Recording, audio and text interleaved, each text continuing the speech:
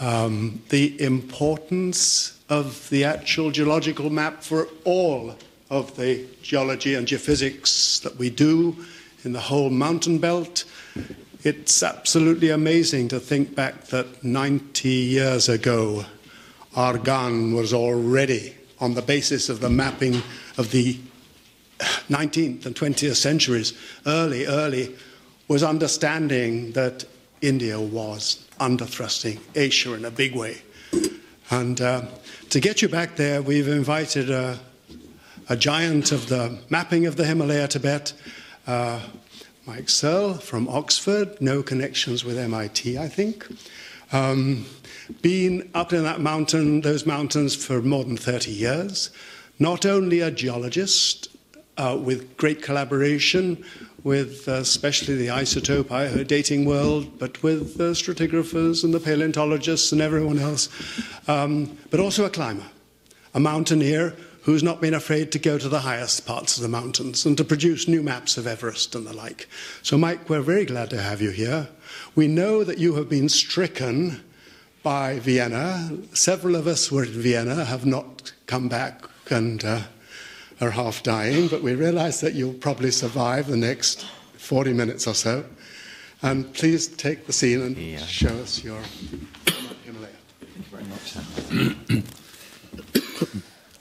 Thank you very much, David. Um, I do apologise to start with. I'm on the, the process of losing my voice. I hope it's going to last for the next 40 minutes. But should I just suddenly go quiet, it means that you just need to look at the slides because a lot of the writing is on the slides.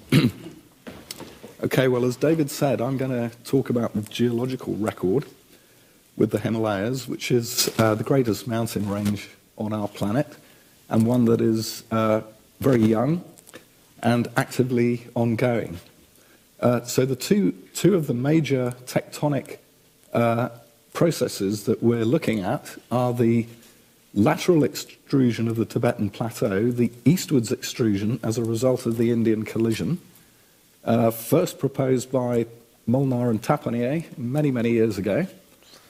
And the second one is the channel flow model, which is along the crest of the greater Himalayas.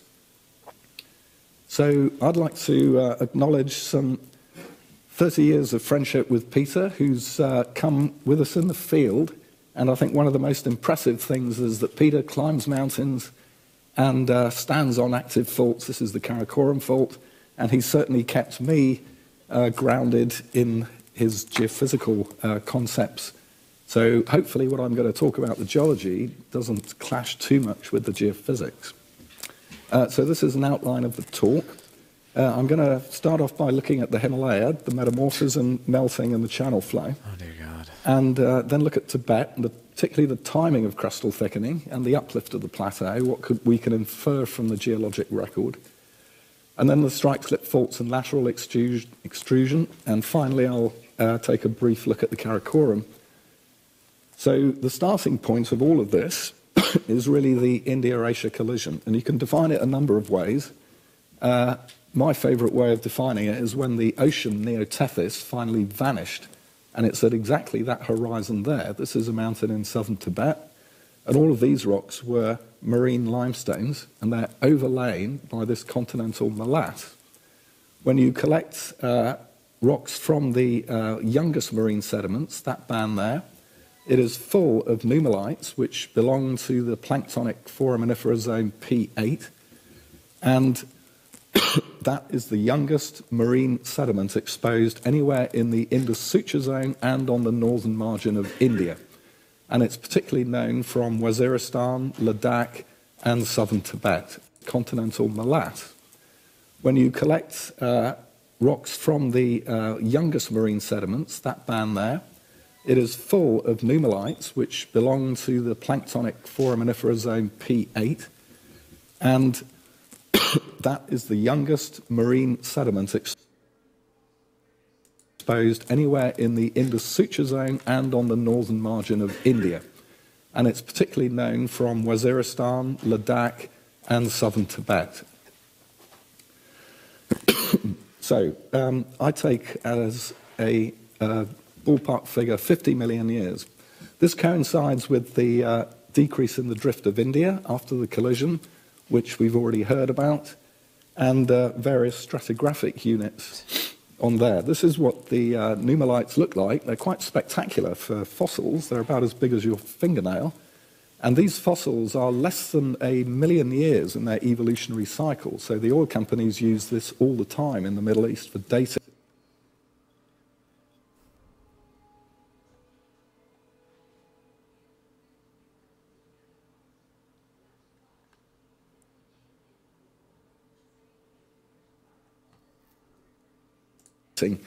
very, very precise dating through the Cenozoic units. A picture taken in Ladakh. This is the main Indus River. Is over here, and these are all the rock types you see in the suture zone. Tethyan oceanic sediments, exotic blocks, and these green rocks here are serpentinized Harzburgites and Dunites uh, belonging to the remnant ophiolites. There's a few high pressure rocks and uh, the post collisional molasse sediments, all of these rocks here. So that marine continental divide is a stratigraphic horizon that is present all over the Zanskar Ladakh Himalayas, and it's very spectacularly well exposed. So after 50 million years, there was no more Tethys between India and Asia, at least from uh, Waziristan on the western margin of the plate all the way along the Indus Suture Zone in Tibet. Uh, the Himalayas are actually a very simple mountain range, unlike the Alps and many of the older ones. Uh, there's three major units in here, which is this is Roger Bilham's diagram of the. That's interesting because it's the result of a supernova, which is a singular event rather than like a continuous ripple from a wave traveling through and along the edge and pushing in into the edge of the continental shelf, just push, causing uh, crumpling and the lifting of mountain ranges from compression along of a force along the edge of the continental shelf. Imagine this is causing a uplift, although in this case it's from a supernova from this direction of a particle that was underneath the crust that had a pressure applied, maybe also had a current flowing from ether storm going through the earth. Maybe the current passed through nodes on the way, and one of the paths it took was through the node over here, and maybe that caused an upwelling of an initial. Uh, oceanic crust, basically, which is denser material that was released only because of a gaping holes in the earth due to ether flows passing through it. Tethyan upper crust, which is the folded and thrusted sedimentary rocks, dominantly Permian and Mesozoic, the Greater Himalayas, which is all high grade metamorphic rock. This is definitely a reaction within a series of reactions. Uh, it's really hard for me to go through and elaborate on what I just said without just like being like, see previous.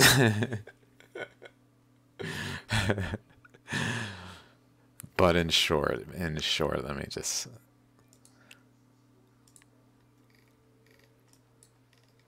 essentially this region is a shallogram, which is these types of things.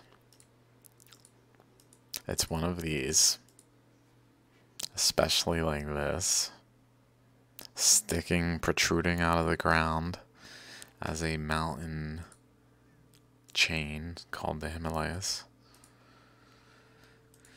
and here is one of the shallogram features of two openings with a center region where the chakras are.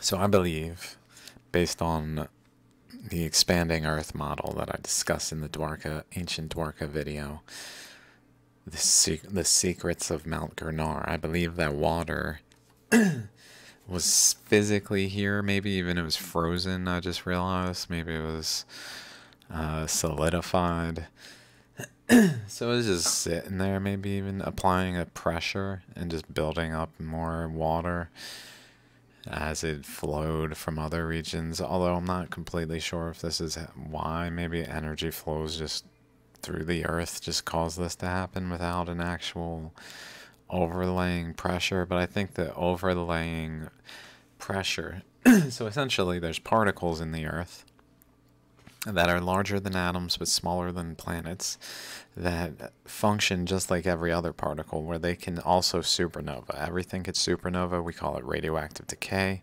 We call it excited electrons, but they're all the same mechanic. And so can these particles within the Earth, apparently. Some of them being big enough where they literally, from this, what I think is a, a, a energy of water was flowing in this direction, applying a pressure on the surface, and the surface itself was resting on this particle largely as like a pillar, where its surroundings were not as rigid. So it was much more like this. So, like this. So, here's a particle, say, and surrounding is less dense material. So if there's a weight on this, say this is the top side, if there's a weight on it, it's going to actually, even though it's on the whole thing, it's going to actually be pressing through this section, causing an actual pressure into the particle, which then in the instance of the Himalayas exploded in a supernova, pushing the Himalayas into existence. So that's what we're analyzing is that analysis there for evidence, which is actually building. Uh, I assure you.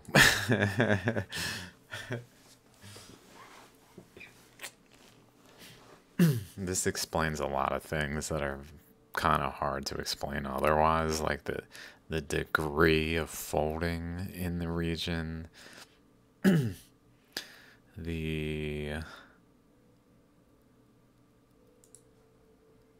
the direction, the, the projection of the material at a low angle because it was basically from a particle under the under the crust upper layer here that's physically existed and then it physically supernovaed from the pressure on it, which is like this literally like a shallogram.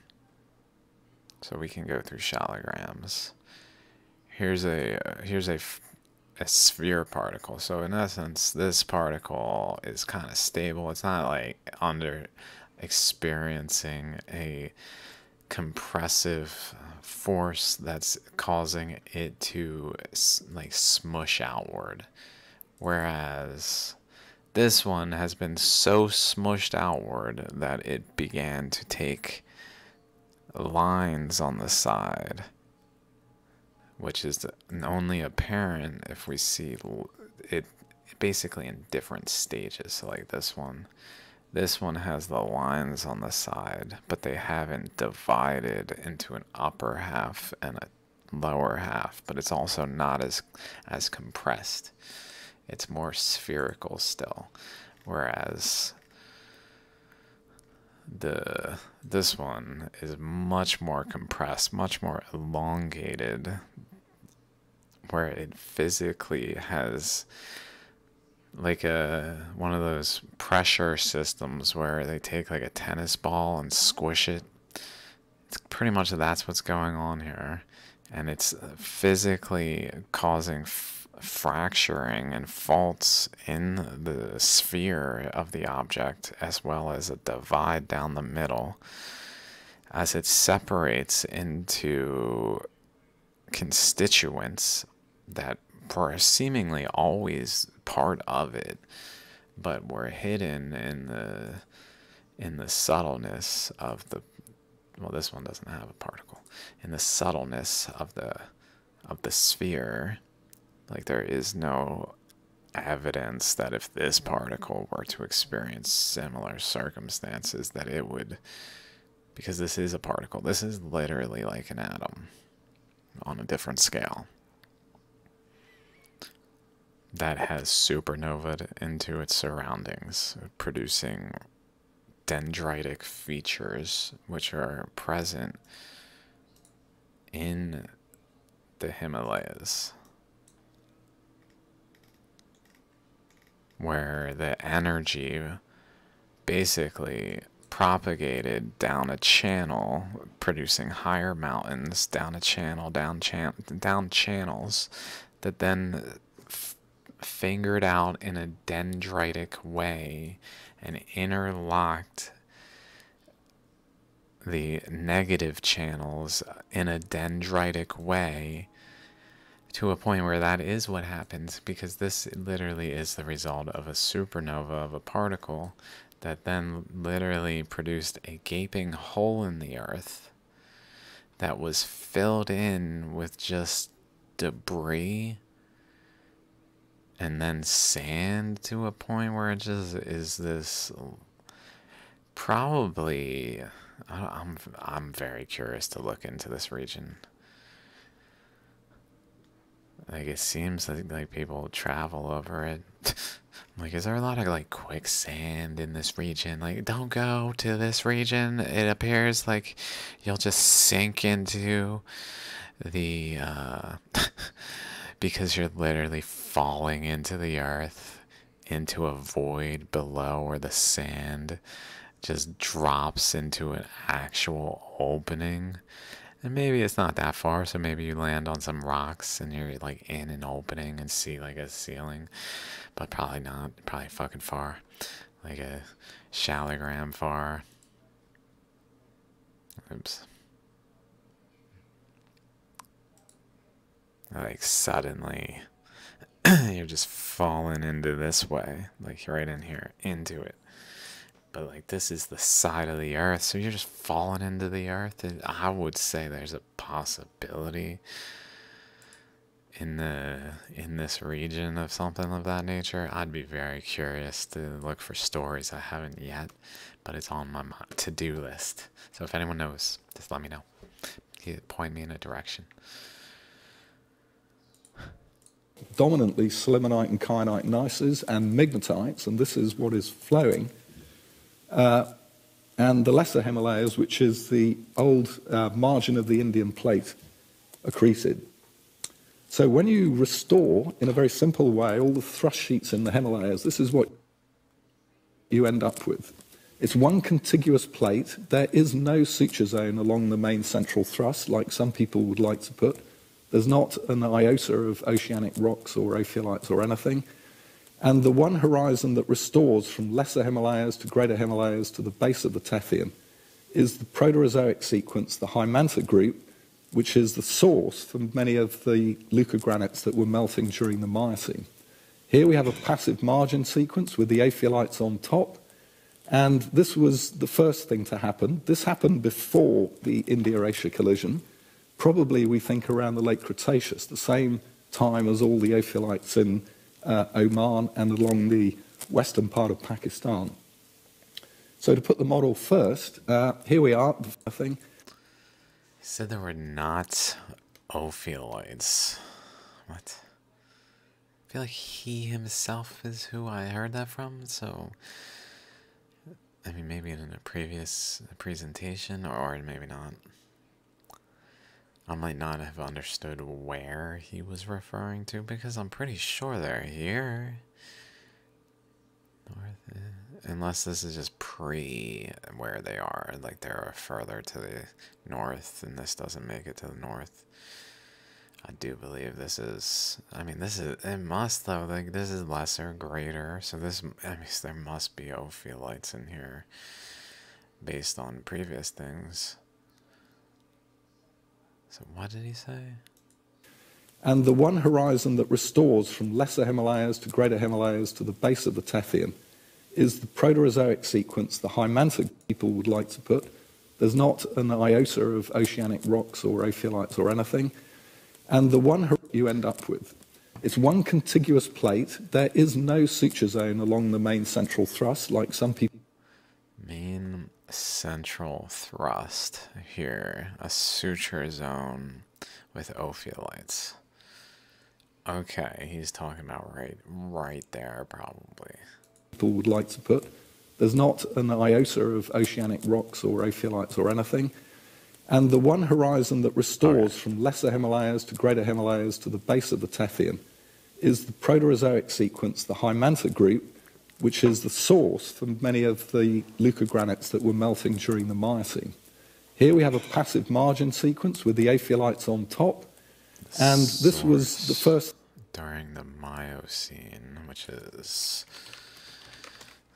after the supernova. So basically, there was material there from Proterozoic, which is before the Earth was attacked by a vortex weapon, basically, and before Venus supernovaed and moved it to become the new Earth through the cryogenian eon. And then we lived here a little bit, and then the uh, Ediacaran, and then the Cambrian, etc., were all during the Earth expansion. And then here we are. So here, the late Earth expansion is the heat of the supernova of the because essentially radioactive decay is assuming a constant decay rate but the earth's supernovaed and these particles are supernovaing and so what really is missing is that this this is a a good sequence but it's not a good absolute time frame although it may also be that in a in a more cool way than like based on our perception of time, but we're essentially within our perception of time, which was only thousands of years. There was actually able to be millions of years of existence that manifested on Earth through the process of the radioactive decay. Like it was almost like it was like a, a mirror. Like while things are are unstable for us, they're stable for that universe. And while they're un, while they're stable for that universe, they're or unstable there. We're in stability, but like something of that nature, like different vibrations, like hydrogen, helium. It's different literal octaves that could manifest dependent on the circumstances, but those circumstances were basically really not typical. They literally require a supernova of a planet. Just a supernova, and then the, the particles that relative to that supernova would be seen as atoms by observers such as ourselves. Those particles, those observers would see that their system of their planet supernovaed and they would say that it was a flooding event and, and like all these things that we see as post cryogenian basically. Like once we once the earth was earth was venus like and then it got swept into becoming the new earth by a supernova of what is currently venus. And so then the uh I know it. I know it's fucking ridiculous, but it's true. That's this. That's the fucking.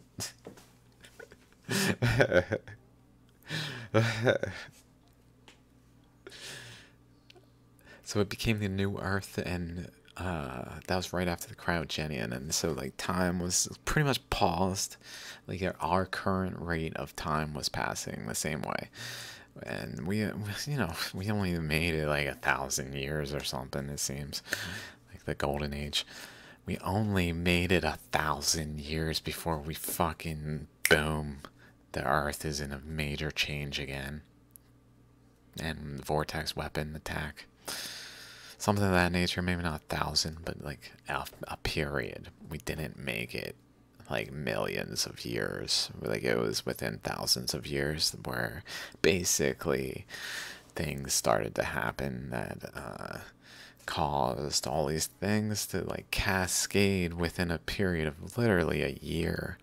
like all of this was a year from uh, the Cambrian explosion through to now, or not now. to now to the uh, to the end of the great flood like the beginning of the great flood to the end of the great flood was a year ish. And that is what this is actually is from a uh, from around post cryogenian to now. okay, now that I've certainly made you persuaded, let's carry on. Thing to happen. This happened before the India-Asia collision.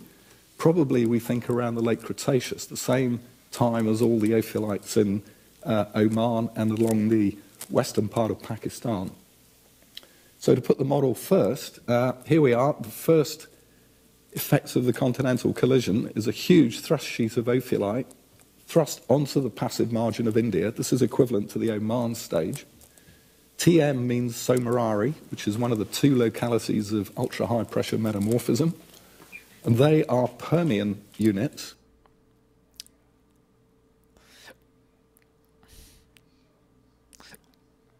I'm going to go back a little bit. Passive margin of India. This is equivalent to the Oman stage. TM means Tso Morari, which is one of the two localities of ultra-high pressure metamorphism. Ultra high pressure metamorphism from the supernova that was channeled down a pathway. And they are Permian units uh, encased in a lot of Paleozoic uh, lower crust material. Permian is only 252 or something. Ends at 252. It's 300, just about. To Mesozoic.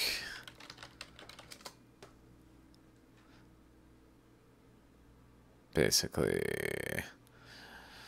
basically, leading into the supernova, there was some releasing of material that was going on that caused this red ophiolite.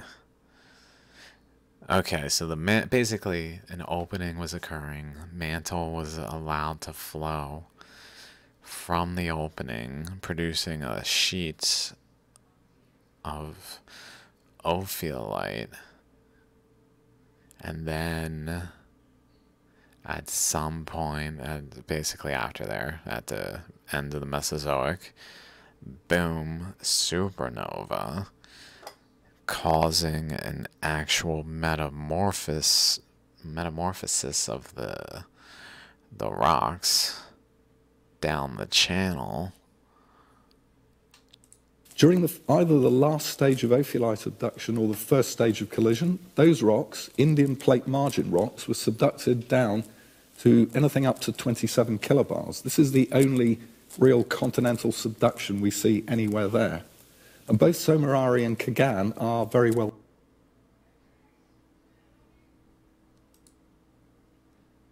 Subduction occurred just after the supernova delayed reaction. The first thing that occurred was ophiolites.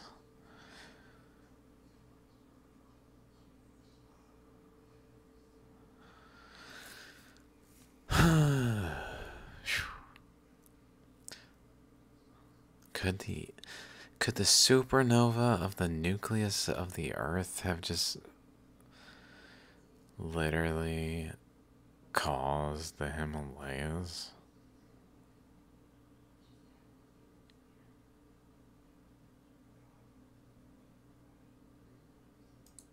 During the, either the last stage of rather than a particle under the surface there. I was fairly certain it was a particle under the surface there, but it does actually time with the what appears to be the Earth's like overall expansion. So like the it was a global event. So it was basically the Earth's supernova was 66 MA.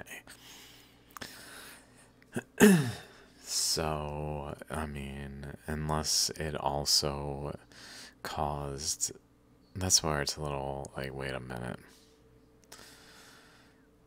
Could, but if it was from the core, then it would it would be much more upward projecting like this than through a channel like this. Although maybe that's just how energy flows. Is it took a path of least resistance and it bent over there and created the shallogram structure in the meantime while bending. So it actually was maybe coming up from the mantle direction, so from the core maybe, and just bent. But then that doesn't really make sense for the arc. The arc really seems to suggest a something over here like as a source. Like it would have to basically have been coming straight up here and then just bent this way and arced away which is maybe possible that there was a energy flow from the core that went to like some some particle here that got basically caused to have a vortex around it that then that particle produced this shallogram feature while the energy flow itself was deflected off of the particle and caused to scatter in an arc shape. I mean, it's possible, but at this point, it seems like maybe possible and worth considering further as I go, but that's quite the chain of events to be like the Himalayas. so the Himalayas were caused by, like, I keep changing it. Initially, the flow of water this way. Now it's, and then it was a supernova of a particle here producing that. Now I'm like, well, maybe it wasn't because like this doesn't really make sense with the shallogram structure. Usually, the the particle there is actually would have supernovaed over here and over here probably.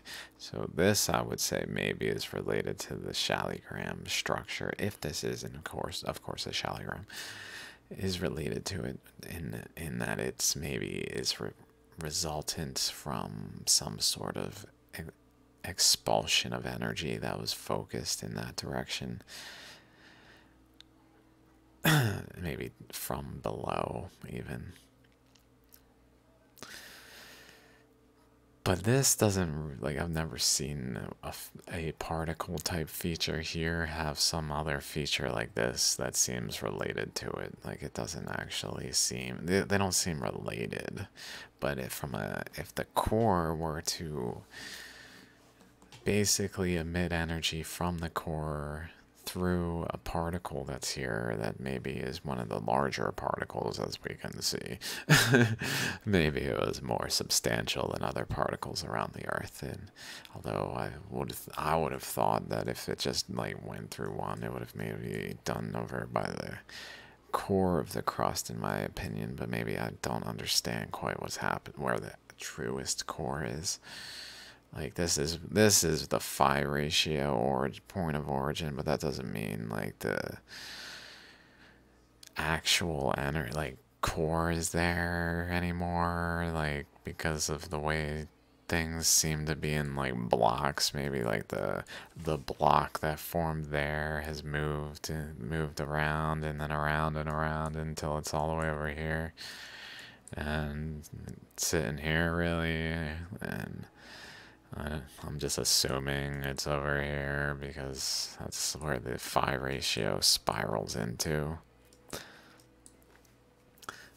but maybe it's there, and maybe the core would have focused some reason through there. Maybe it's just like where energy can leave the Earth easiest by going around this big particle there that kind of creates like a space around it by just being so dense, like it supported the surroundings, so it allowed for openings to form.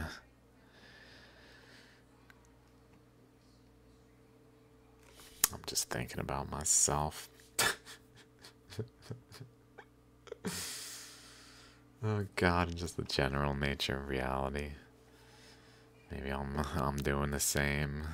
Learn and learn and learn and learn and grow and grow and grow and grow and then suddenly like it allows uh, we're all hanging out. We're all hanging out. pressure's off, pressure's off. Uh, explode. Oh. Oh. Oh.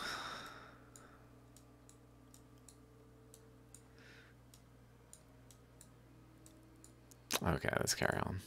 Of ophiolite abduction, or the first stage of collision, those rocks, Indian plate margin rocks, were subducted down to anything up to 27 kilobars. This is the only real continental subduction we see anywhere there. And both Tso Morari and Kaghan are very well dated now, which I'll come on to in a minute. Uh, during the next stage, the um, Tso Morari, uh, the ultra high pressure rocks, come up extremely rapidly through the mantle until they're ensconced in the lower crust. And at this time, they're caught up in all this incredible isoclinal folding that affects kyanite grade metamorphism. This is down to 10, 12 kilobars. And I think the the real uh, secret for unlocking the crustal structure of the Himalayas lies in these metamorphic rocks because you can do amazing things with metamorphism nowadays. Pressure, temperature, time paths, you can date monazites at every stage of the PT path. And uh, this is really what's uh, opened my eyes to the thermal evolution. And finally, we have the sillimanite uh, cordierite stage, which is, this is equivalent to the channel flow stage, where all of this is migmatite, and all of it is flowing between two enormous great ductile shear zones. Main central thrust below, South Tibetan detachment above. so the first of the, the, these are the two localities of ultra-high pressure eclogites. They're incredibly fresh rocks. This is right up in uh, the Kohistan region. These were first discovered by Paddy O'Brien, and they've now been extremely well studied by several groups. And in Ladakh, we have another one, the Tso Morari eclogites, uh, where there has been some reports reported microdiamonds and ultra high pressure material, but we don't see pressures anything like these, these ones up here. It's the Taliban. um, what we do see is uh, peak pressures of um, high grade metamorphism somewhere in this region here between 22 and 27 kilobars and uh, extremely rapid rise. You must have some sort of slab breakoff. To pull, you, you have the UHP eclogites in the continental margin, they're dragged down to depth. When the slab breaks off, they come up at extremely rapid plate tectonic rates, and Randy Parrish proved this more than 10 years ago with less than a million years between the UHP rocks and some of the uh, lower rocks here. When they get entrained in the base of the crust in the kyanite grade, they follow a more normal exhumation, which is still fast. It's kyanite grade regional metamorphism.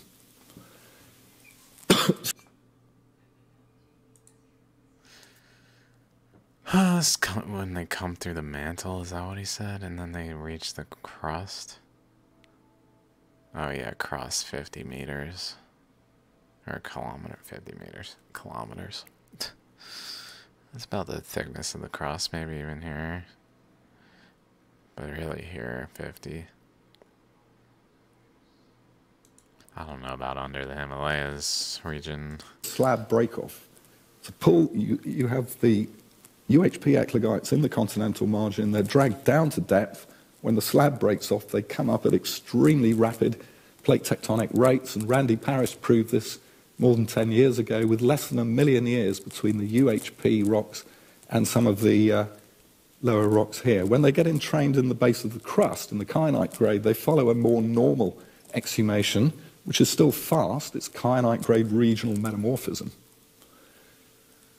so when, after the India-Asia collision, uh, the rocks start to deform.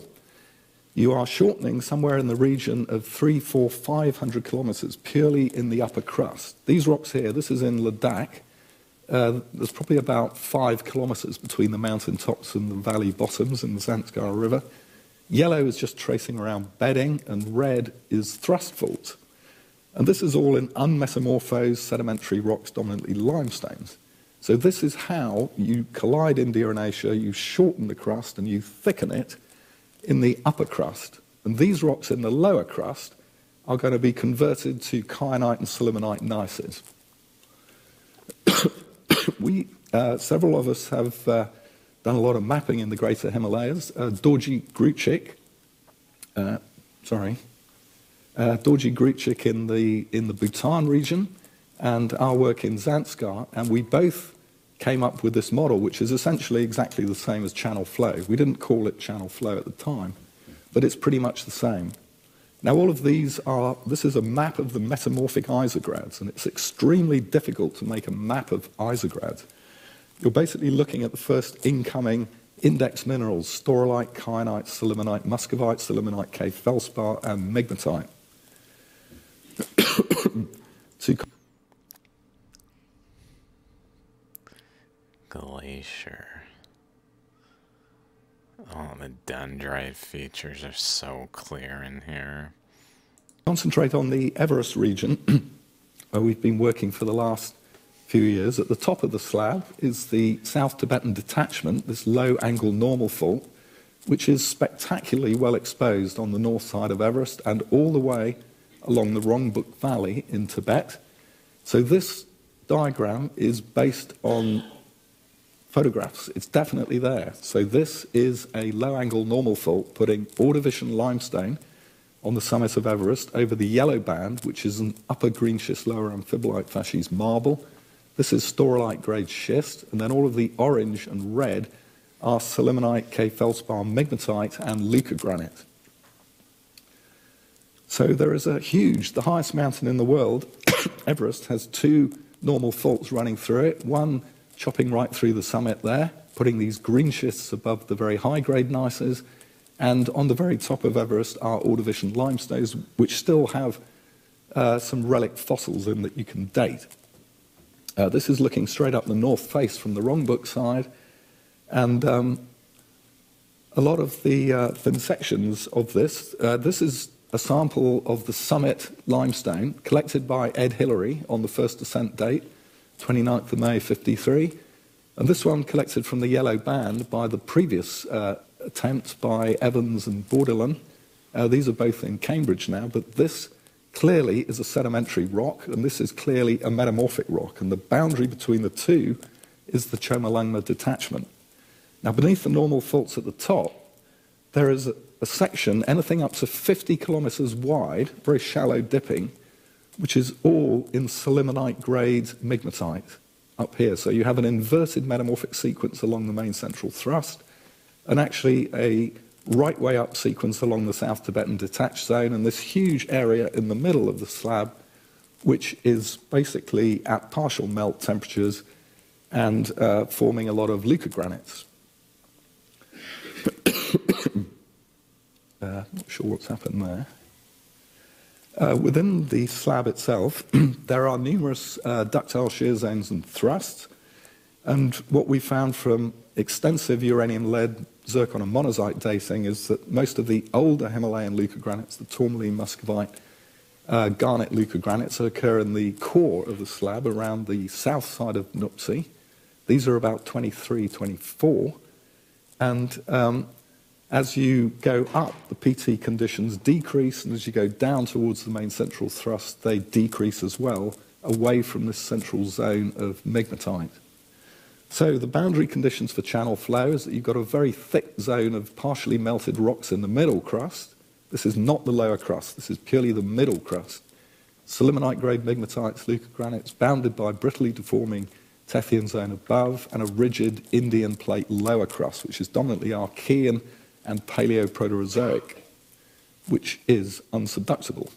So when you restore the whole Himalayas, you must, under thrust, at least the southern part of Tibet, uh, the Archean Indian shield, you must thrust it underneath the plateau in exactly the way that Argand uh, described many years ago. So you have right way up metamorphic sequence along the top and synchronous motion on both the ductile shear zones, the MCT and the STD. so the results of this crustal thickening, largely because the Haimanta complex, the Proterozoic black shales, are incredibly rich in uranium. These are the protolith rocks that melt when you increase the pressure and temperature to form the leucogranites. And these are the famous Himalayan leucogranites that form most of the big peaks. These are 100% crustal melts. There's no mantle component. There's a local migmatitic source, usually with sillimanite, sometimes with cordierite, at varying stages of the melting process. Incredibly high. 100% crustal melt supernova.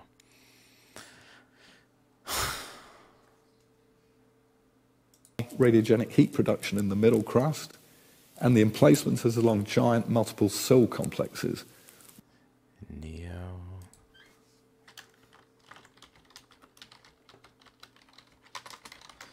Pretty sure they're saying the the crust is from the Neo-Proterozoic that was then heated.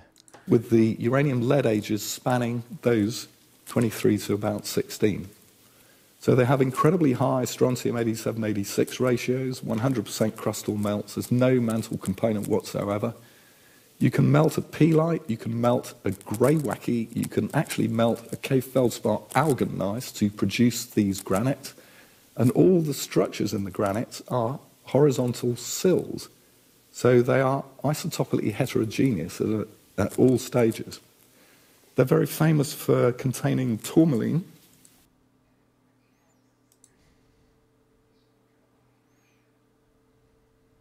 isotopically heterogeneous.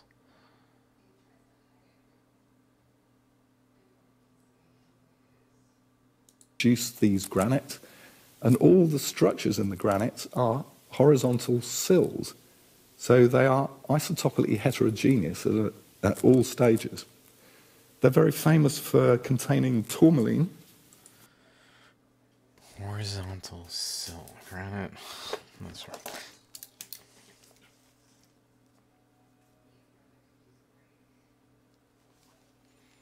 One second, pardon me.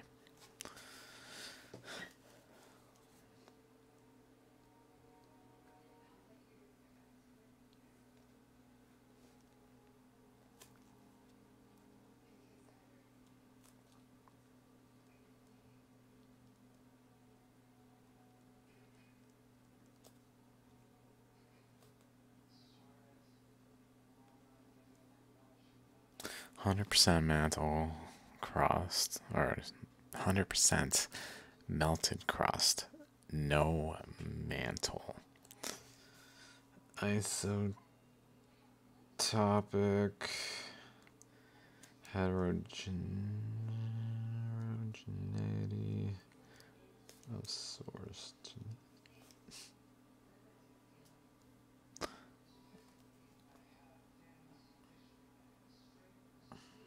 So, and then put horizontal cells or scale. Horizontal cell.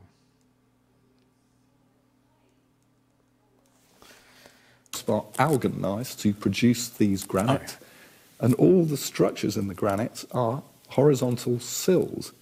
So they are isotopically heterogeneous at, at all stages.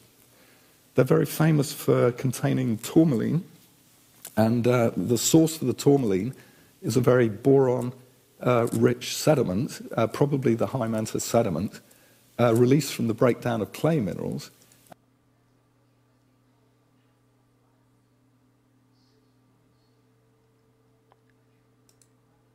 They're very famous for containing tourmaline, And uh, the source for the tourmaline is a very boron uh, rich sediment.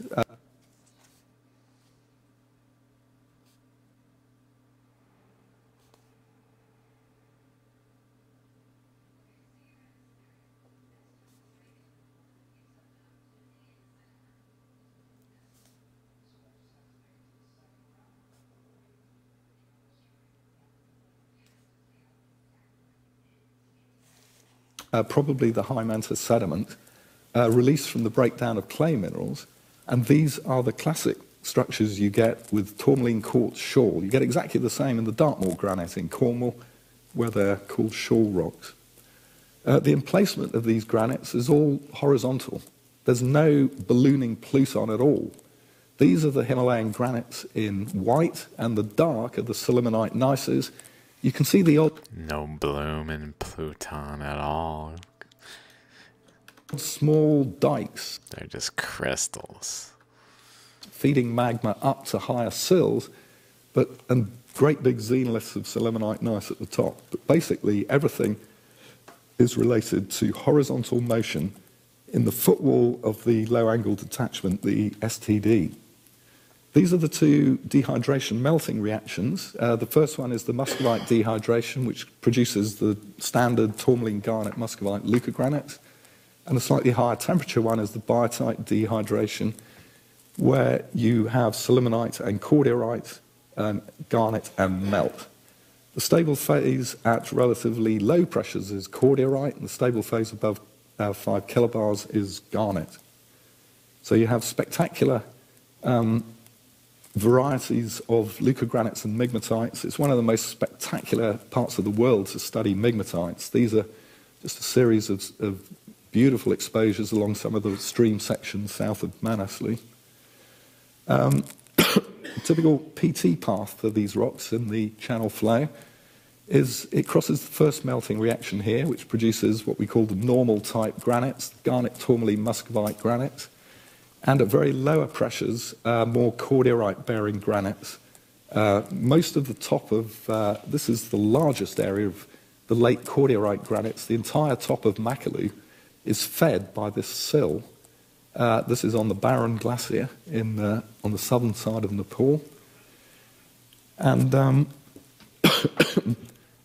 this, you can see that the uh, cordierite granites here feeding the summit are actually cutting all the earlier uh, tourmaline 2 mica granites uh, on the margins of the dike.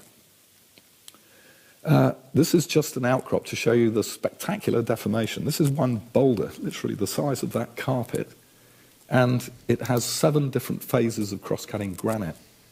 And pretty much these granites are coming in at relatively low temperatures, and then they freeze pretty instantly uh, to produce all of these. And we've been doing uranium lead age dating on all of these different phases, and uh, they, they vary both spatially and um, with depth as well. So this is on the Kangshung Glacier on the north side of Everest, uh, where we have, this is in the core of the channel, when the whole melt is being extruded out to the south, and within that are giant boulders. It's almost like a river with giant boulders of these migmatite, sillimanite gneisses, and earlier formed leucogranites. And uh, our students, uh, John Cottle and um, Micah Jessup, did a lot of work uh, dating these rocks. and what It's almost like a river.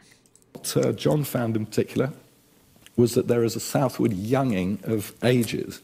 So here you see the spectacular early sills, which are folded, cut by undeformed set two dikes. And you can date these and date these, and the time periods of deformation are spectacularly short lived across all of this stuff. So, um, what we found in the in the Rongbuk Valley is one of the best sections because you have this 3D exposure from the summit of Everest till the STD plunges down beneath the Tibetan plateau, and you can follow it along strike uh, for the whole period. and uh, a summary diagram here shows all of John's uranium lead ages at the Kangshung. This is in the guts of Everest. I Feel like he's trying to tell me something. And this is Thongmong, which is right in the northern tip of the GHS before you go underneath the Like what I do? What, what I do? plateau. So we think that there is a general northerly younging trend uh, with time along the Rongbuk. This is on the south side of the uh, Nepalese Himalayas, a spectacular cliff section showing Ama Dablam. This is just south of Everest. Anyone who's trekked up there would have seen this peak. And when you look very closely at this, you can see that these granites are intruding as layer parallel sills with dikes feeding magma up to the top. And the reason they're bending over to the north is because the STD is up here and cutting through the Everest Massif off to the left. So this is a summary diagram off to the left. Bending to the north, is he this way?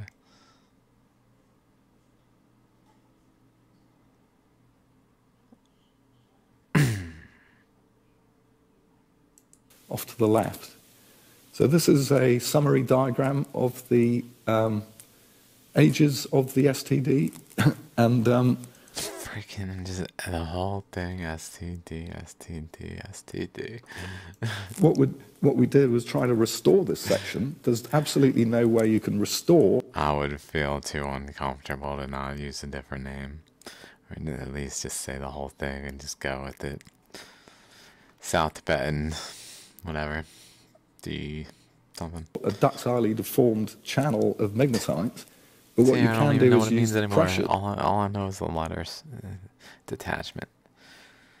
Is to constrain roughly the depth, and if you assume that the pardon me, pardon me, not to be childish. TD is the same angle during the formation, then you've got to bring these leucogranites from this period here about 100 kilometers north of where they are now at the foot of Everest. So that's exhumation of sill and whatever nieces, calc-silicates, and leucograms from 10 to 15 kilometers depth and 80 to 100 kilometers north.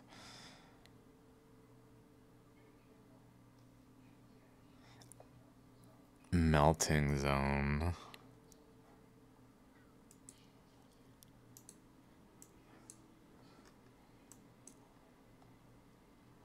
Let's say Everest is there. Who cares? 100 kilometers. So not, not that far. So they're saying they're coming from like here. Let's say. Not that far.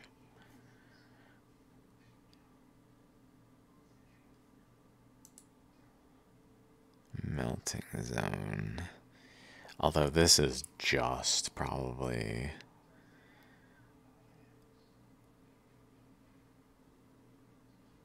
The mantle to the mantle, I don't know.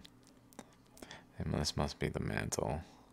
But really, the particle could have been in the mantle way further. That's the Ordovician limestone. That's the uh, the yellow band and the green schist rocks, and this is all migmatite down here. So this is a summary of the Himalayan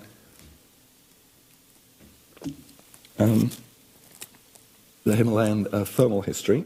You have uh, collision at 50 million years. From then, post-orogenic, uh, sorry, post-collisional crustal shortening.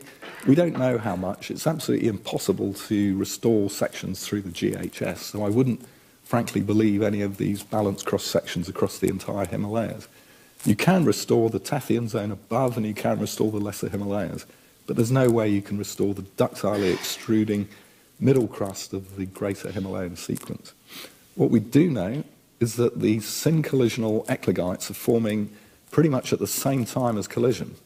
And I, we have exactly the same rocks in Oman, so I suspect that these, the very deep subduction of the leading margin of India, are actually the final stage of the ophiolite abduction rather than the collision. And then we have the kyanite grade collision, which is dated between 35 and 30, and the sillimanite grade partial melting between 24 and the same rocks in Oman. So I suspect that these, the very deep subduction of the leading margin of India, are actually same rocks in Oman. Interesting. The final stage of the ophiolite abduction rather than the collision. And then we the eclogites. We have the kyanite grade collision, which is dated between 35 and 30, and the sillimanite grade partial melting between 24 and 15, producing these spectacular leucogranites. So this was the time of channel flow. Channel flow is not operating today. It's seismically dead. Yeah, I feel like it was just carving like the supernova was occurring, and it was just shoving things out of the way that were in the way, including these eclogites.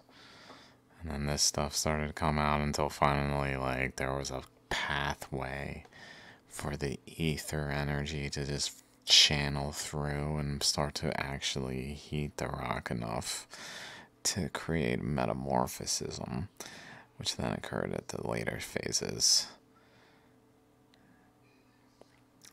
And crustal melting. And I'm not sure what channel flow is referring to of channel flow. Channel flow is not operating today. It's seismically dead. There is nothing happening on the STD or the MCT. The seismic boundary is way down to the south along the main boundary. Just basically that the supernova was shoving material between the layers. And it's not anymore, I guess. Thrust. Well, this is the Annapurna section. Assuming a particle within the Earth supernova didn't cause the Himalayas. I know, I know, guys, I know. Uh, is up here. This is all Cambrian Ordovician limestone at the base of the Tethyan sequence. And all of this is sillimanite and kyanite grade partial melting with the famous inverted metamorphic sequence on the main central thrust. So you have a low angle normal fault here, which is responsible for extruding the magma in the footwall. That low angle normal faults do definitively exist, and they must have been active at low angles in order to exhume this stuff during the channel flow. I, I think there is um, no evidence that Tibet or the Himalayas are collapsing, so I don't like the orogenic collapse story. Normal faults do exist. In Tibet, they're oriented north-south, east-west extension. But because of India, the lower crust of India, the uh, people have suggested that the Tibetan plateau is like a collapsing, previously uh, like Himalayan range. Key and Pale. It's interesting. I wonder if a body of water that is a wave would produce the same uh, like increase in elevation like that behind the wave to a point where a plateau exists there like in a legitimate way i'm trying to think i know like seemingly like it should generally produce some uplift. It's just the the Tibetan plateau is so long. It's like uh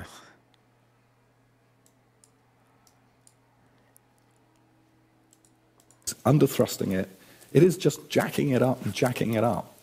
And everywhere you see uh, the greater Himalayas, there is no evidence of anything falling down or collapsing. So here is. Uh, Except for north of Tibet. Also, maybe in Damodar Kund, which is in the Himalayas. There's probably some evidence of shallogram features to suggest the potential, if not the actuality, which is only maybe found in the uh, in the opening into the earth up here a picture of that same normal fault. On the hanging wall, we have Cambrian limestones of the Annapurna Formation. And here we have, this is all calc mylonites dominantly, uh, produced from the Cambrian limestones. And immediately underneath it, uh, huge amounts of marble at high temperatures and kyanite gneisses with partial melt. So there's a massive PT jump across this ductile shear zone. Uh, again, if you play the same restoration games, uh, this is what you see now. There's three rocks here. The sediments at the base of the Dhaulagiri, which are purely burial metamorphism, anything up to about two kilobars, two and a half kilobars. Uh, the tremolite gneisses from the Langtang unit here and the kyanite migmatites down here. And if you use the pressures to constrain the depth, you have to restore them to this sort of position and then you're bringing this one up to accrete with this, and then both of these up to accrete with that. All of this leads to channel flow, and um, everything on the right-hand side of the diagram here is constrained by the INDEPTH and the Hi-CLIMB experiments, geophysics. Once you cross north of the Indus Suture zone, you don't have the depth constraints. What you do have in the Himalayas is spectacular depth constraints as you go north. So we know that this is the basic geometry of the mid-crustal channel. And what is thrusting down underneath it is dominantly Archean and Paleoproterozoic, which could be forming in eclogite facies down here, uh, depending on who you like to believe.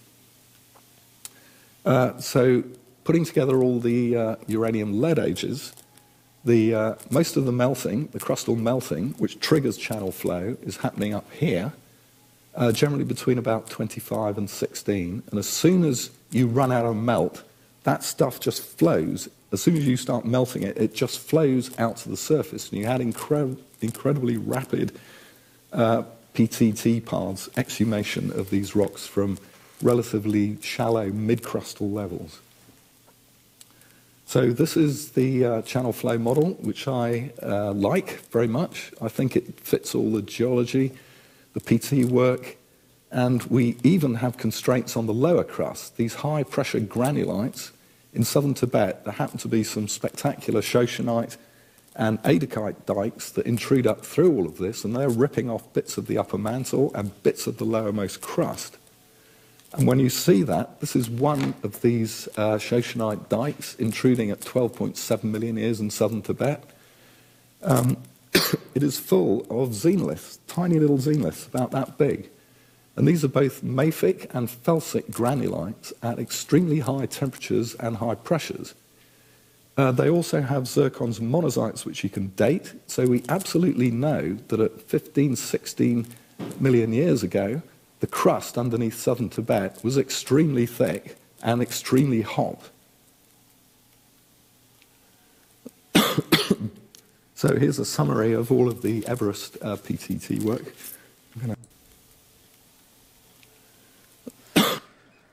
Yep, yep. So here's a summary of all of the Everest uh, PTT work. I'm going to skip along pretty quickly here, actually. And as I said, the Himalayas are very um, pretty much uniform the whole length of the mountain belt. Uh, they've undergone the very similar kyanite and sillimanite grade events, except for the very far northwest in Nanga Parbat and the very far northeast in Namche Barwa, the two syntaxes area, areas. And in this region of Nanga Parbat, it is quite the most, some of the most incredible rocks I've ever seen. Most of the core of Nanga Parbat here is composed of extremely high grade migmatite. And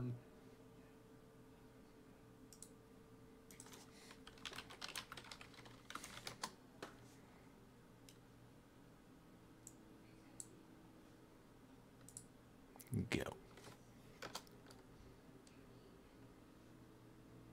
Go.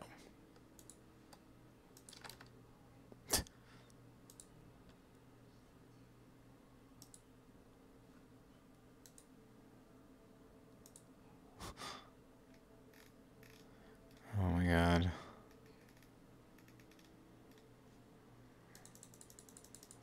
Apparently not.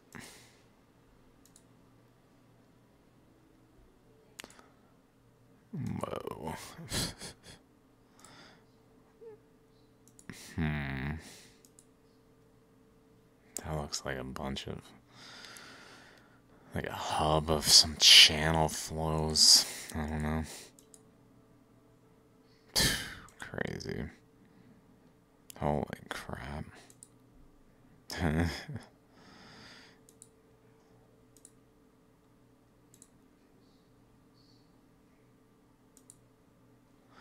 Okay, okay. Oh, there it is. There it is. Okay. So at the eddy of the wave.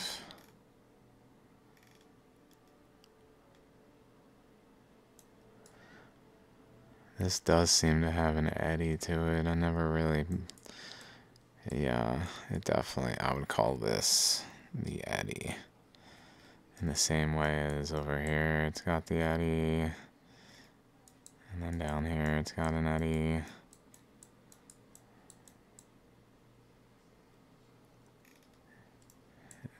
To the wave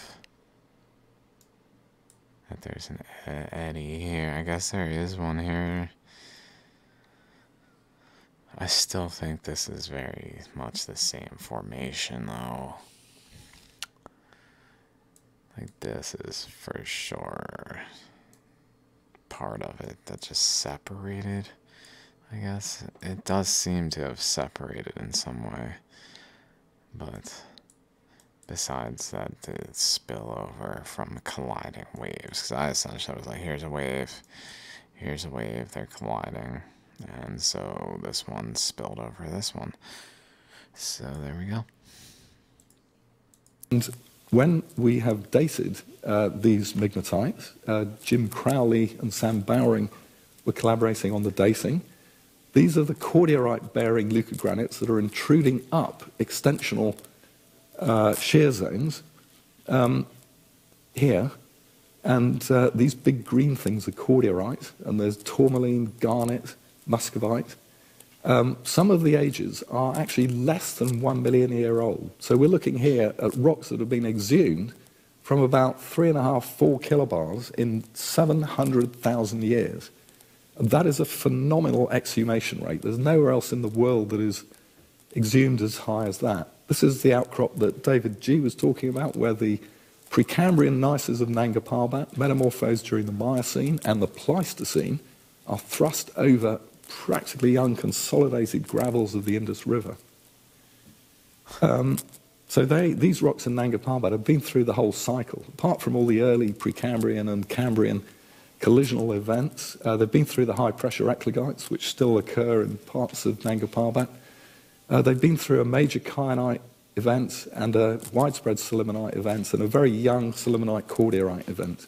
Mm. So I think they're pretty.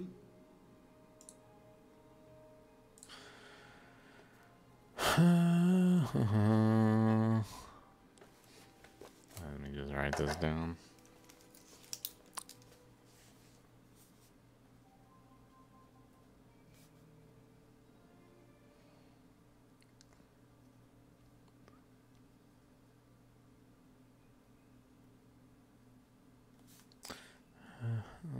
50 to 47.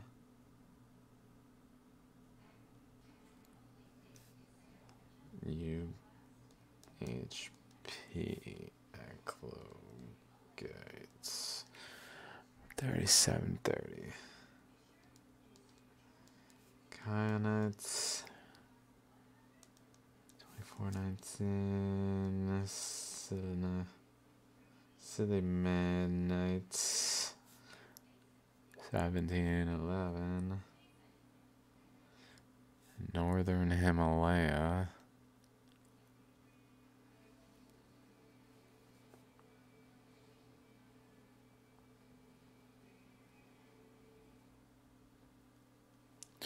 And it says Amadrime.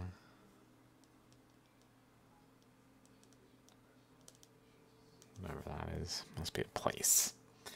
3 to 0.07, 0.7. Nanga Parbat.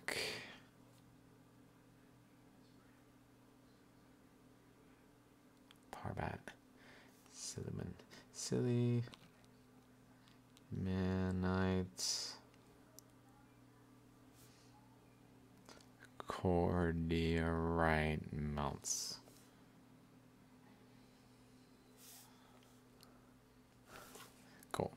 Widespread sillimanite events and a very young sillimanite cordierite event. So I think they're pretty good representative of metamorphism that is actually forming today underneath parts of the Himalayas.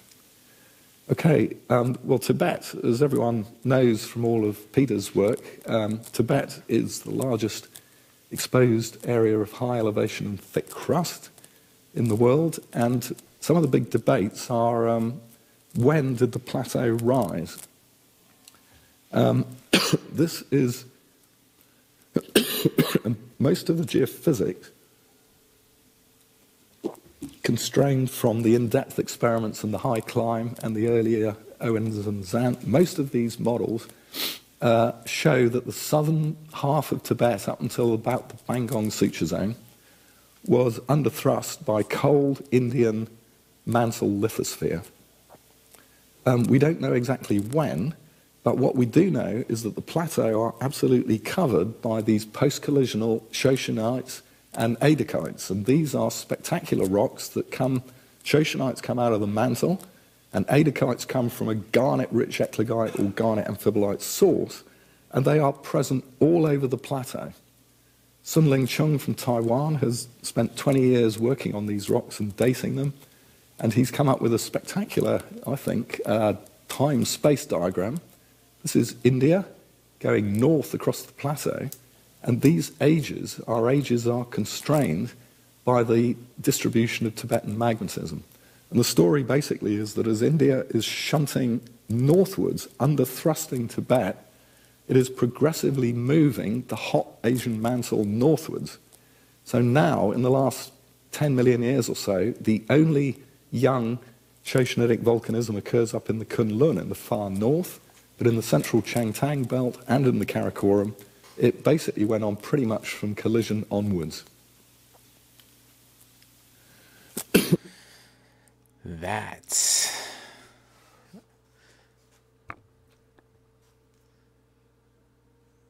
like an Indian block time. Millions of years ago. Or no. What is this?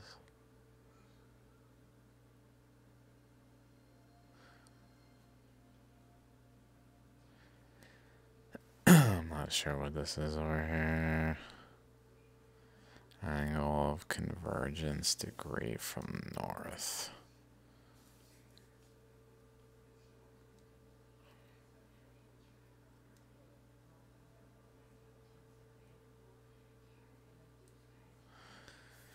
Million years ago.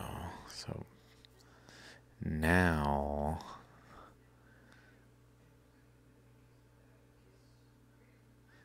we see this.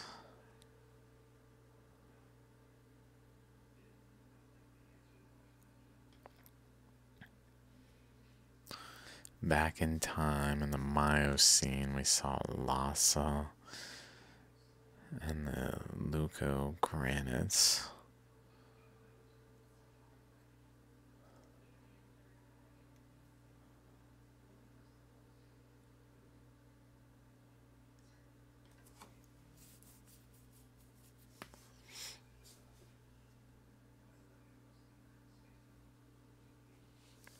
This is kind of like the pre-supernova supernova and then the actual supernova.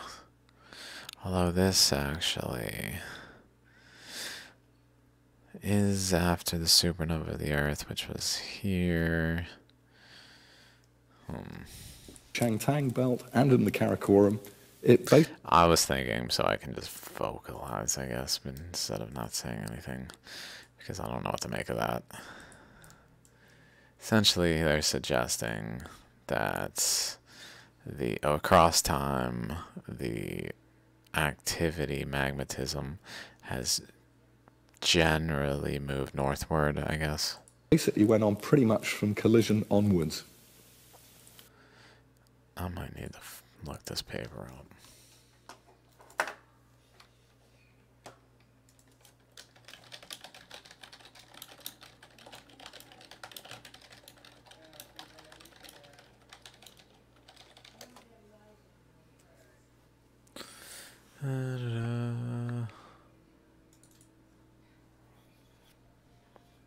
It is progressively moving the hot Asian mantle northwards.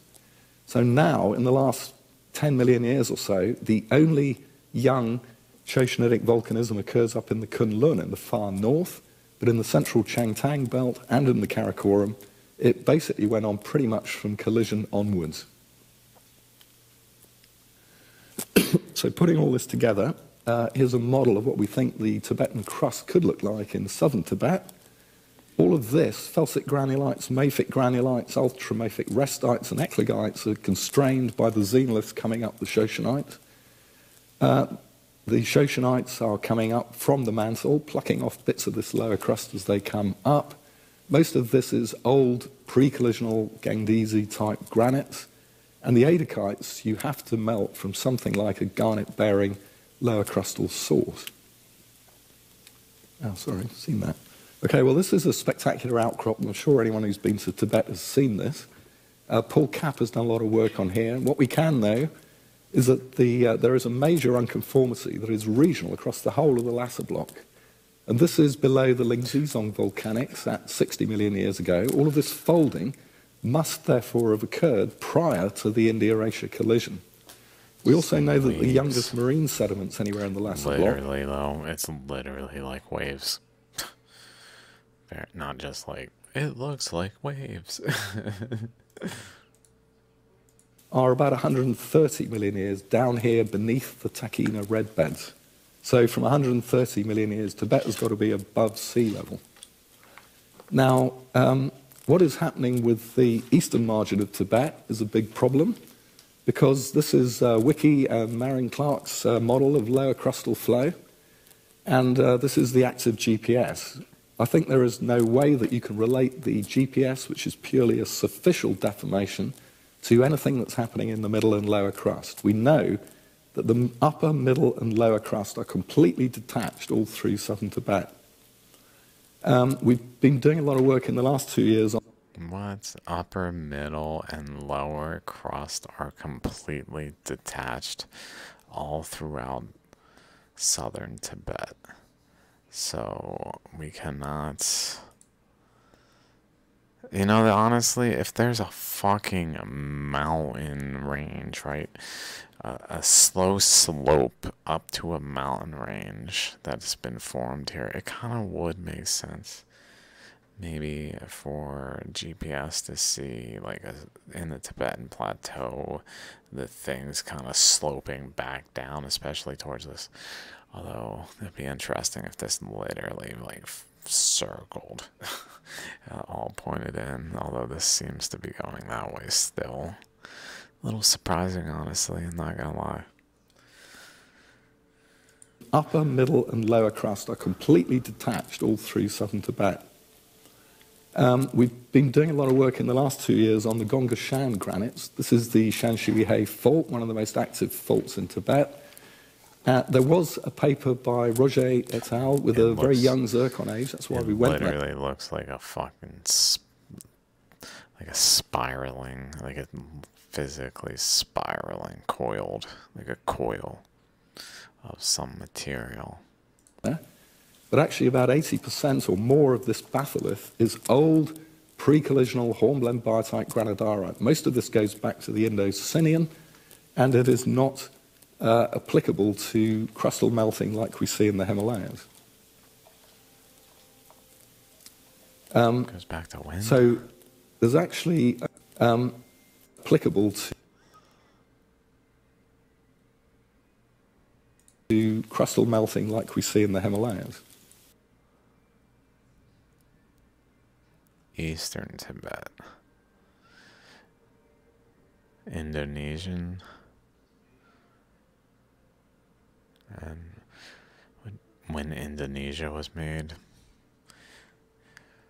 So there's some, there literally is a relationship between Indonesia and the eastern Tibetan region of the Himalayas, maybe? Is that what's going on there? Um, in like a timing of when uh, there must be a reason it's called Indonesian. That's because of the timing of what occurred then. So there's actually uh, huge amounts of variety in the Gongga Shan granite. Uh, most of this batholith is pretty inaccessible, but there are two very good road transects that go up here. And these are all the early dioritic rocks. um, so we can summarize uh, most of the metamorphism in eastern Tibet, particularly from Danba, is all Indo-Sinian. There's no Cenozoic metamorphism at all. There's nothing young. Everything is either Precambrian or Indo-Sinian. Um, there is no geological evidence for crustal flow. In the Himalayas, there's abundant geological evidence for the greater Himalayas thrusting to the south. You never see that along the eastern margin of Tibet. And all of um, there is no geological evidence for crustal flow. In the Himalayas, there's abundant geological evidence for the greater Himalayas thrusting to the south. You never see that along the eastern margin of Tibet. And all of the granites are dominantly related to the uh, Triassic, Jurassic, Indo-Sinian orogeny. Uh, the other major problem is the faults, the strike slip faults in uh, Tibet. This is the Karakoram fault where Peter and I have been several trips. Uh, this, we've had incredible discussions with our French colleagues going on for about two decades on this fault. And for me, it's very clear that all of these migmatites and granites are related to the regional metamorphism you see all across the Baltoro. They are absolutely nothing to do with shear heating on the fault. The fault cuts everything. The youngest granites in the Karakoram are as young as about 10, and uh, the fault must have been initiated uh, prior to that. Some of the ductile fabrics on these outcrops, this is Richard Phillips, who's published a lot, my student, and um, it does have a major difference in exhumation rates on either side of it. Uh, it also has spectacular pseudo-tachylites. The fault is pretty much dead now. There's almost no seismicity on it. But it does show huge amounts of pseudo-tachylite, uh, which are you don't really see on the Xianshuihe fault. Well, I've mapped all of this part of the Karakoram. Uh, you can't go to this region here. It's right on the triple junction of Pakistan, India, and China. But uh, that contact there is a very is this one. It's a contact metamorphic aureole between the 20 million year old Baltoro granite and carboniferous black shale. It's very, very clear, black and white. You can trace that with a dashed line to intersect with the Karakoram fault there. And on the other side, on the Ladakhi side at the top of the Siachen Glacier, that same contact is very clear there. That is about 25 kilometers. This is the most active fault in Tibet, and it seems to have just a minimal amount of motion on it.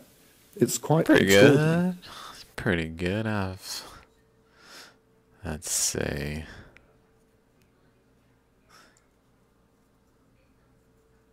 I can't recall honestly specifically. There's definitely been some some interesting things. Like for sure, there's heat involved, which is strongly suggestive of a supernova.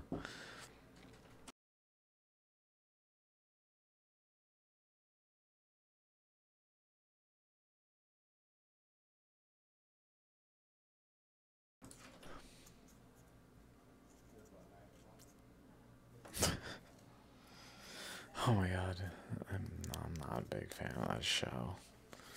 Been watching Andor. It's alright. Part of me got involved. People involved in Andor. Uh, it's pretty good, but I'm I'm just fucking busy. Oh my god. Fucking distraction. I mean, it's it's just like football and shit. It's like, dude, we got we got problems fucking football, this gambling fucking scam where they don't even play legit games. It's just fucking utter abuse of the people's willingness to participate because there's no alternative. like they got the monopoly on the entertainment. No one can compete with a fucking franchise sport like that. So they gotta fucking play right.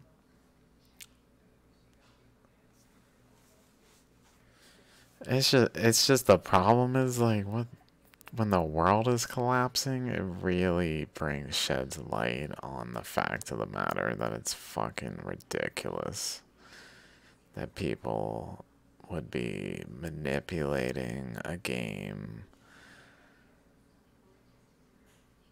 just cheating for the purpose of like making money, literally.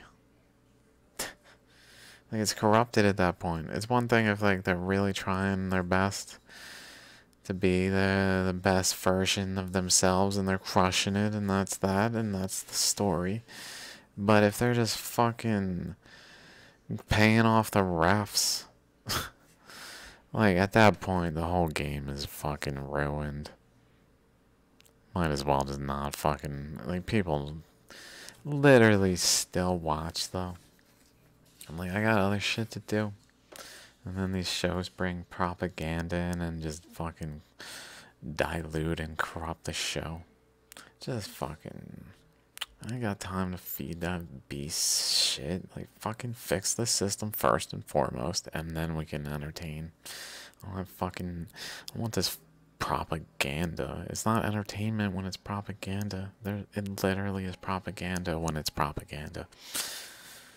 It's absurd. People that died in the soccer game, yeah. yup, just fucking. It's probably time to wake up from this bullshit, I think. Fucking Russia just bombed Kiev, I read. I didn't look into it either. I just saw Russia bombed Kiev. Okay. Maybe that's a little, little escalatory.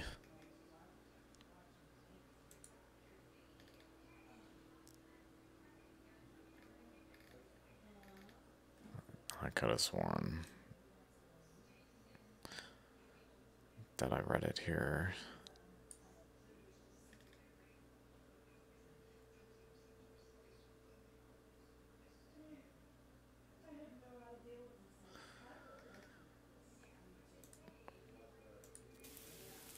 So we think the Karakoram fault um, actually accommodates about 120 kilometers uh, maximum could be as little as 25 since about 15 million years.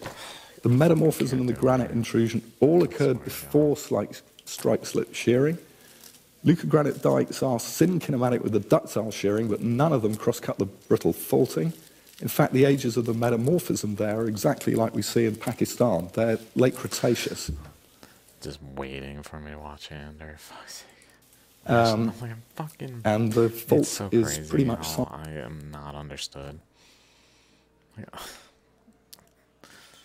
Seismically dead today. So either it's moving with huge. I know my parents just want to spend time and so on, but I'm like, dude.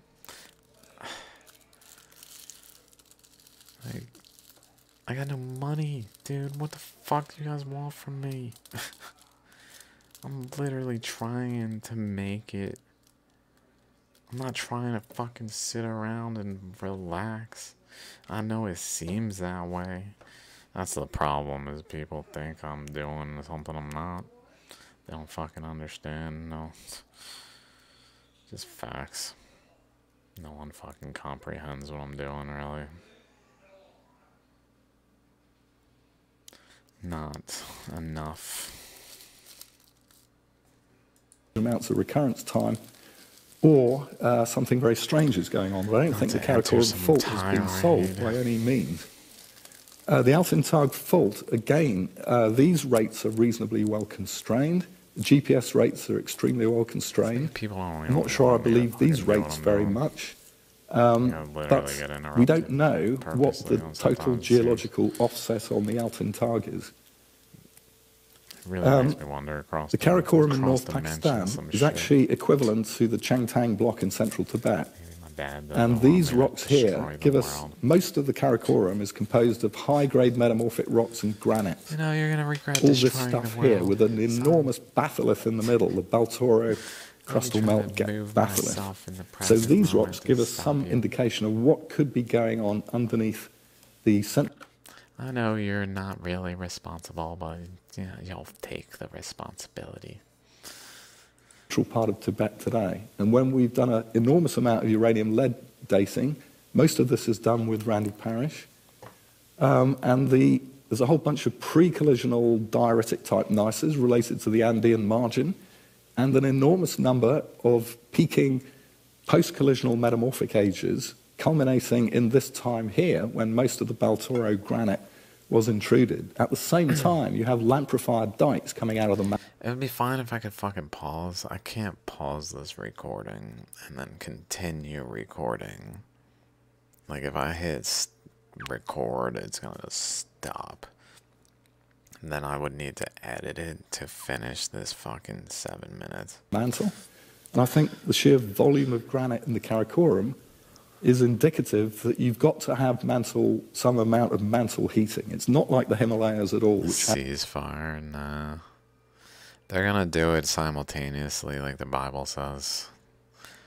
Uh, the world will call for peace and security, and that's when calamity will fall on them. I wouldn't be surprised if like there's some initial wave of calling for peace in the like outcome of what's going on right now. I have almost no mantle component to this. Uh, the crux of the uh, Trango Towers, this is a one-to-one cross-section. There's no vertical exaggeration. These things are two or three kilometers vertically, and most of that batholith is between 17 and 18 million years. Um, so you can summarize all this in a time chart. And um, India-Asia collision, 50 million years. All of these sillimanite gneisses and migmatites are occurring in an Andean-type setting prior to the collision of India and Asia. And then you have everything in blue is a period of peak sillimanite or kyanite metamorphism, dated with monazites and extremely well constrained. And what you see is a pretty much continuous record of high grade metamorphism throughout not only the post collision, but also some of the pre collision. And this, I think, could be indicative of what's going on under parts of the Changtang block. um, okay, um, we're, we're moving around the corner a bit, and I'm working now in Burma, in the Mogok Belt, and these rocks here have a very similar uranium lead history to the eastern Himalayan syntaxis. So we're sort of tracing the Lhasa block, the southern margin of Tibet, around the bend into Burma and eventually down into Thailand, and restoring it with the various um, time constraints that we have. Um, jumping over the maps too. The other ones I've seen him do are really inf informative. This, I think he he is not talking about his own research about the Tibetan plateau. I think is why this is a little less uh, infor informative than the rest. Like the Himalayas is his focus for sure. So I don't think this literally might not even be at all his research, and he's just kind of getting a bearing on the locale uh, from other people's research and just kind of trying to literally restate it, but because it's not his own research, he can't quite say it as well as the individual whose research it is, and he's not like adding to it, so he's pretty much just like there's this element maybe of it being less informative than the previous part. Um, Okay, here's a model that was uh, published by uh, my student Richard Palin, who did a lot of spectacular uranium lead age dating on all of these granites. Although maybe I'm mistaken, and he's really been all over the place with his studies. Uh, he's for sure heavily studied the, this region, as well as Oman, it looks like. And who knows what else. I just have watched a few of his lectures because he's like the the Himalayas guy that I found. And uh, we think now that the thick crust and the um, was actually inherent there from at least 45 million years ago. You cannot have kyanite and sillimanite grade metamorphism. That's pretty much all I wanted to know. And he did add some tidbits to the Tibetan plateau, but 50, 50 million years. So pretty much after the supernova of the particle in the region. Rocks without having some sort of thick crust. Although I'm not sure, I've been kind of thinking it may be a little more complex. Like the supernova of the Earth itself was at that time of 65 million years, which is kind of when this all started to happen. So it seems like they're literally either simultaneous or the same event. Either two events that are like a chain reaction of one big particle in or near the crust, or and the um, man's core also simultaneously supernovaing, and the two just doing it together, or that uh, the core supernovaed and it basically sent an energy flow into the North Tibetan region, which then caused a the shallogram feature as well as cause the energy to be deflected away from the particle and into an arc. But then it, it's a it seems a little much of a stretch at that stage you cannot quantify it we have no idea how high the karakoram was we have no idea how high tibet was but what we can say is that when you've got a period of high grade metamorphism, you've got to have some sort of thick crust. And if you've got thick crust, you've got to have some sort of topography. So the conclusions of Tibetan Karakoram, thick crust, high elevation, we, I think was a pre-collision. I just don't want to watch this show. just fucking... event along the south. The Gangdese geology is exactly the geology that you see all the way along the Peru-Chile margin. Huge I-type granite batholiths, huge amounts of calc-alkaline volcanic rocks. Um, I don't think the plateau uh, rose. Um, sorry, I don't think the plateau rose uh, seven, eight million years ago. I think it's been around for a long time, older than that. Um, there is no real evidence for mantle delamination. Looking at the ultrapotassic Shoshonite ages, they were occurring all the way from 45 up to uh, day before yesterday up in the Kunlun. The strike slip faults are very large scale and impressive, but they have very limited offset. And we still don't really know the offsets on most of the Tibetan strike slip faults. The earthquakes are restricted to the seismogenic zone. Some of the um, excuse me. Um, some of these deep earthquakes underneath the Himalayas, lots of arguments between the creme brulee people and the jelly sandwich people. I personally cannot see how you can have temperatures as low enough to make an earthquake in the mantle. So to me, this has to be the crust is deeper and thicker than we think it is. Anything up to 90 kilometers deep. Um, Post collisional crustal melts are very rare, but there's three areas uh, the Ulugh Muztagh, where PISA has also worked. Deep earthquakes. And the western Nyenchen Tanglha, little bits of crustal melt leucogranite. And these little tiny, very young granites in Gongga Shan, four or five million years old.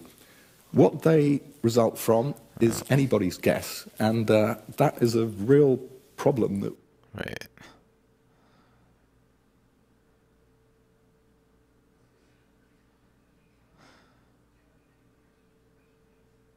we haven't yet solved by any stretch of the imagination. So, to conclude, the timescales of orogeny, the ophiolite abduction phase onto a passive margin, pre collision, is extremely well tied down in Oman. The northern margin of India went through all of this with the ophiolites along the southern margin of Kohistan, the Spontang ophiolite, and most of the yes, ophiolites, sick. the good Ganser ophiolites under Tibet. Uh, Himalayan type collision, it's 50 million years of deformation, 50 million years of metamorphism, and it's still ongoing. Karakoram type metamorphism includes the pre collisional and the post collisional, and that is absolutely huge. It's been going on pretty much peaking for 65 million years throughout the pre and the post collisional phases. So, in conclusion, I'd like to pay my respects to Emile Argand, who 90 years ago I think got it dead right. The Himalayas is composed entirely of Proterozoic and younger rocks. You never see Archean or Paleoproterozoic rocks in the major part of the Himalayas. That stuff.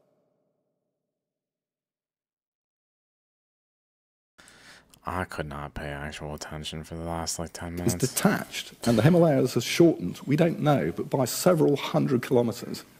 The they don't know how much they fucking interrupt me when they just knock on my door. I'm like, uh, how many times I gotta fucking say, I'm fucking busy if I'm. Oh my god. Only place you can put Literally, it's so hard to focus. Any fucking distraction is hard to focus.